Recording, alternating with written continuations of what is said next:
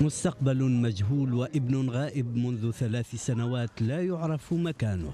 حال الفلسطيني فوزي ماضي الذي ما زال يتذكر الليلة التي داهمت فيها قوات الأمن العراقية منزله بحثا عمن يشتبه بكونهم من المتشددين الفلسطينيين. صار في فروقات واضحة يعني موجودة إنه هذا هذا سني هذا شيعي هذا مسيحي هذا فلسطيني هذا كذا كذا.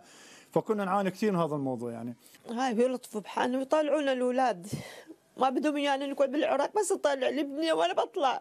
وألغى البرلمان العراقي العام الماضي تشريعا كان يضمن للفلسطينيين الحقوق والامتيازات أسوة بالعراقيين من الأهلية لشغل الوظائف العامة إلى مجانية التعليم والحصول على معاشات التقاعد. مر الوضع الفلسطيني يعني بوضع مؤزم وكان تعرضوا لكثير من التضييقات والاعتداءات والى آخره خلال فترة بعد 2006 واستمرت تقريبا لعام 2014 بدايات 2015 تدهور الأوضاع الاقتصادية لكثير من الأسر الفلسطينية منذ صدور قرار البرلمان أجبر الكثيرين على البحث عن ملاذ في دول أخرى.